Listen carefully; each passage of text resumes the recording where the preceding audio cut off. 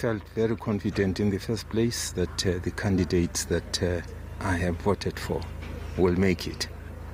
Uh, it's, a, it's a great day. It's a decider as to whether Zimbabwe goes forward or remains stuck in the problems that it is facing today. And I hope this is what people are going to be voting for. Voting as to whether we should have a new, fresh start, as I demonstrated in November last year,